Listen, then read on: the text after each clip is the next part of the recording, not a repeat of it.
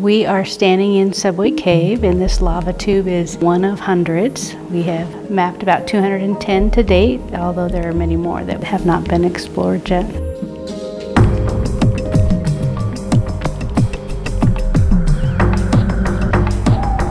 The Hat Creek area of the Lassen National Forest is tunneled with hundreds of caves. Some of the larger ones have been tourist attractions for many years, but many new caves have recently been discovered along with cave dwelling creatures about which little is known.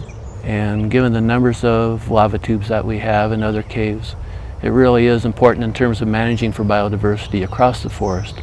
It is a very unique, important ecosystem. This type of lava, this basalt lava, is very liquid. And as it flowed out over the ice and snow, it kind of spread out into fingers. But the exterior temperatures were really cold, so it caused it to harden very quickly on the outside. And when it did, it insulated what was on the inside, kind of like a thermos bottle. So when that lava drains out at the end of the flow, these outside structures or crust is what's left behind. So they refer to that as a lava tube.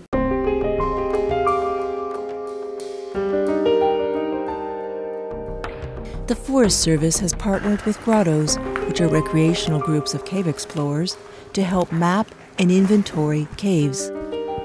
We've partnered with the Shasta Area Grotto, which have mapped over 200 caves on the Lassen National Forest. And a lot of what we're finding is new, at least to the forest, if not to the research community. One of the discoveries was the Pterochus fluvipileus, which was originally collected in 1971 and for 45 years was thought to exist in only one cave. In the last year, we have found it in about 15 other caves in the general area. The fact that no one has found that species, which is rather large, indicates that there really has been no systematic sampling of cave fauna on the national forest. And so, as climate's warm, conceivably we could lose species without ever knowing they existed if we didn't do inventories now, uh, given the projections of how climate will change.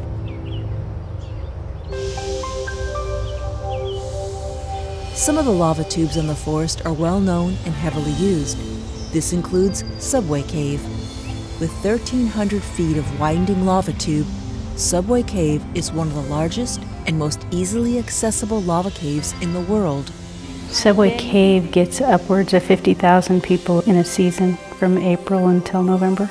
And that kind of use does take its toll. you guys got good flashlights with you? All right. At least once or twice a week, we try to get some folks out here to keep things cleaned off. You know, you can't have 50,000 boots a year walk across the ground and expect it not to break down. People within the grotto have also spent some time cleaning caves out. There's some fairly deep pits. In the past, people have used it as an open dump. And the grotto people have really spearheaded the efforts to get that material out and take them to a landfill. The Forest Service is tasked with balancing recreational use with the protection of our forest resources.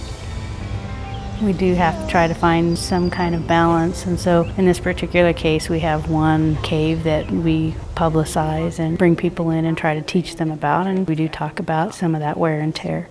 Our other caves, because it's public land, they're open for people to go into, but we don't point out where they are. By not encouraging that use, then we're hoping to keep some of those other areas more pristine.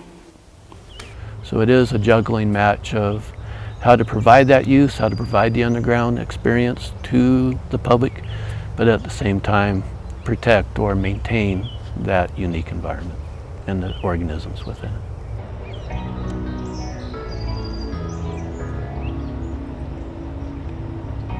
The local economy really depends on tourism as as its mainstay. So they're pretty dependent on the recreation area out here in our campgrounds and whatever we can do to promote the recreation in the area, we, we definitely owe it to our residents.